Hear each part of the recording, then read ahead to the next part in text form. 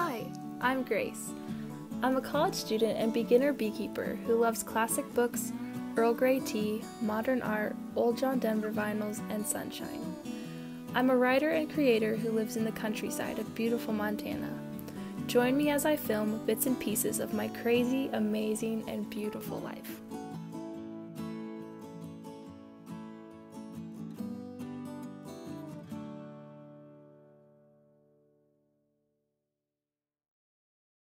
Guys, it's Grace, and guess what day it is? It's bee day. My bees arrived this morning. Um, I purchased a three pound package of Italian Carniolan hybrid bees, and it is a beautiful Montana day outside to install them. So I'm gonna get right to it. I'm gonna get suited up and head out to the hive.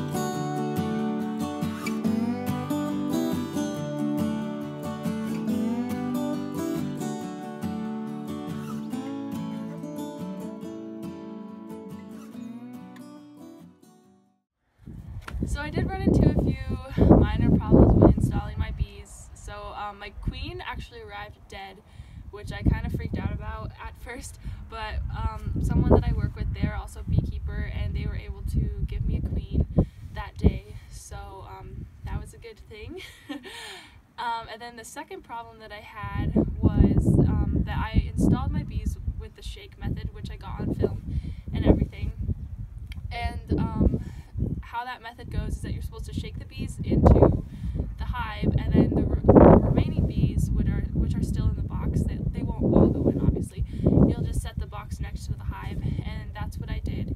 But um, that night that I installed the bees, it got pretty cold and it actually frosted, and the wind was really bad, and so that resulted in several bees actually dying in the box which I also freaked out about again. so I texted one of my friends and he was just like, it's fine. Like once your queen starts laying, they're going to be laying up to a thousand eggs per day. So that was comforting, but I did freak out because that is a crap ton of bees in there.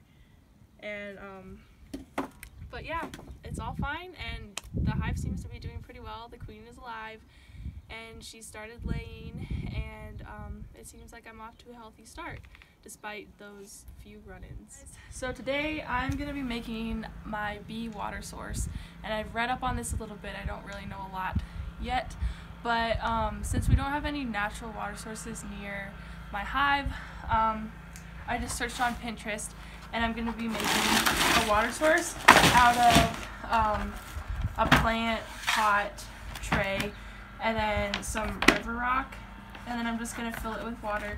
And the reason why I have the rocks in here is so the bees don't drown. So if you just like give them a bucket of water, they'll um, they don't have like anything to land on and they'll drown, obviously. So that's why we have the rock in there. So I'm just gonna fill this up and then take it out near the hive.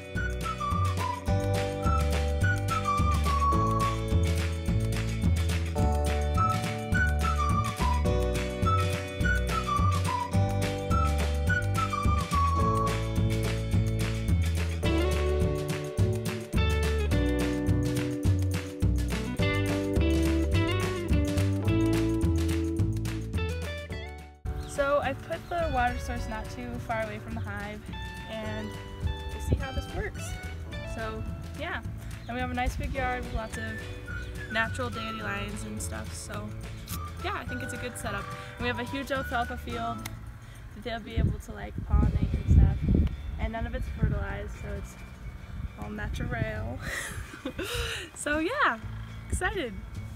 So I am still very extremely new to this whole beekeeping experience, but I've been researching, reading books, um, looking things up online, um, watching other YouTube channels of beekeepers who have done this for years and it's been interesting and I've learned a lot so far and I'm just excited to um, keep learning more about my hive and about beekeeping in general and I'm so happy that you guys are along for the journey. So thanks for watching my first video. I'll see you next time.